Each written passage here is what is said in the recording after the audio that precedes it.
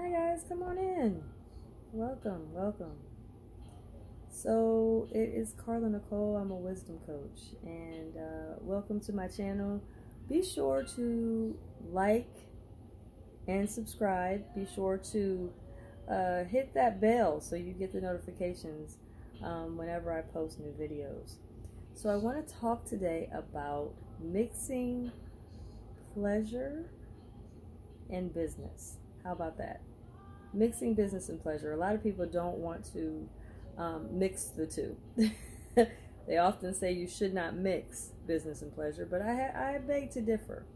I want to talk about why I think it's a great idea to mix business and pleasure because it is a great thing if you do these certain things to make sure that the business and the love affair isn't compromised. But do understand you have two relationships that you are in when you have a business and a love relationship cultivated into one.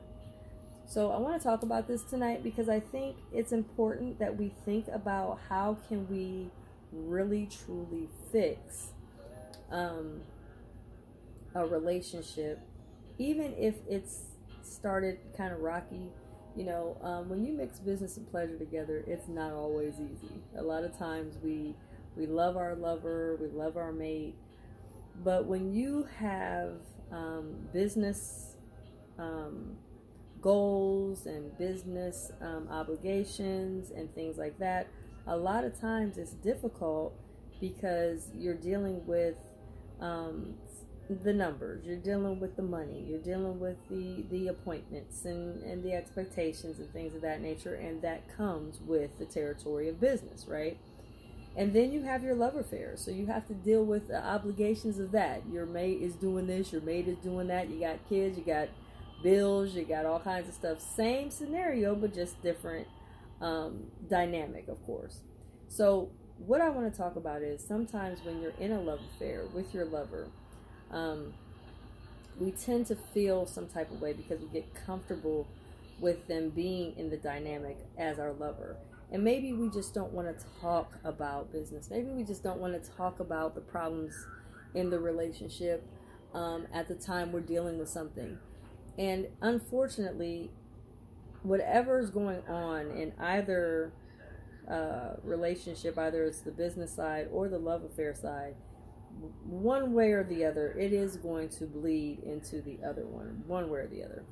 But I think one of the best ways to avoid this to be to become a hindrance to the growth of the relationship um, is to put up boundaries. And so why I say boundaries are key is because a lot of times we don't think about that after you know we get into it at work or we have a lovers quarrel at home that those effects won't affect the relationship at work we're dead wrong. You know what I'm saying? So we have to think about these things because it's important to make sure that whatever type of style of relationship we're in, be it that we're in a love affair at work or not, when we're at work, we're at home, um, we, we need to make sure that we're being mindful of what it's going to take to make sure that we have a, a, a balance. And there will be moments and times where you know we're going to tip the scales. We're, we're going to go against the rules. We're going to we're going to allow certain things to just bleed over on one side or the other. That's just what it is. I mean no matter how hard we try even though we don't want it to happen it unfortunately will most likely. But i want to help relationships that have started or cultivated in the office or in in in in the business and we found ourselves more attracted and now we're finding ourselves falling for each other. This is where it gets a little bit um, challenging because now we have this love affair and also we have the business arrangements and we have the business agreements and obligations. And in some senses, we cannot be in a romantic affair while we're at work or or while we're in business because you know, of course, they claim that it's not healthy or whatever. But what I do want to say is sometimes um, the best way to make sure that you both can, you know, um, follow protocol and keep your intimate life separate from your business life is to make sure you're clear with it, like I said, with the boundaries. And in the event that you are in a love affair at work and you're not supposed to, or you kind of have this sticky arrangement going on, um, you're gonna have to put on your your acting skills. So you got to be like, I love being with you, but we have to play it off while we're at work because nobody can know about it.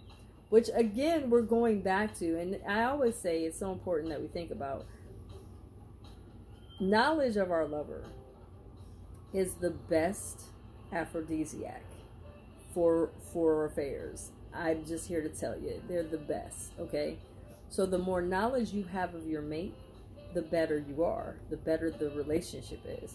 So I'm just giving you a heads up that because you have access to your mate in a business arrangement, you actually have more in-depth knowledge of your lover than more people normally that most people normally don't because when your lover goes to work a lot of times they come home and they're telling you all what's going on you haven't a clue. Because you don't really you know what i'm saying? You don't work there. So you only have a limited understanding as to what they're telling you about and what's going on. And although you can get you know a general understanding you really don't have a, a holistic understanding. Which again because you're in a business with each other you do have that holistic and and an in-depth understanding because you both do business together and you have an understanding of that this is why i say when you're in a relationship and you're in a love affair your love affair um, becomes more in-depth and more um, fulfilling when you have that knowledge of them in all different dimensions they're in. So when you have that understanding of them being a parent, being a brother, being a son, being a wife, being a mother, be, when you have those understandings and you get that understanding based upon just knowledge of them, by being involved with them and understanding the different dynamics that they go through, it helps you to um, have a much more in-depth, beautiful relationship. So again, the way to improve having a, a mix, mixing business and pleasure in a relationship, the best way to improve that is to make sure that you set up boundaries. And then you're clear with each other of what your expectations are. A lot of times we don't talk about what our expectations are with the business. Listen, if things don't go right in our business, how do we deal with that at home? Are we going to talk about it or is it off limits or how do we how do we separate separate the two so that it doesn't infringe upon our love affair? How do we do that? And can we do that? That's important. So again, like I said, mixing business and pleasure is not always easy, but it can be done. And one of the most important things about power couples that I think we don't realize is that they have a power within them because they don't allow the challenges or the upsets at work to stop them from having a intimate and beautiful sex life or dating life. You have to have moments in time where you don't bring up business, where you don't allow the business to be all into your bedroom, you guys have to tell each other listen, after six o'clock at night, no more business conversation. Or just, you know, and, and even sometimes organically, you can just figure out once we get home, we're shutting it all down and I'm back to just being with you. We're not going to talk about business, we're just going to be with each other. Once you set the set that tone and you stay keep uh, basically you keep that as a standard pattern and, and, and agreement, your love affair will improve. So again, you can mix business with pleasure. And if you do, just like I said, be mindful of your boundaries.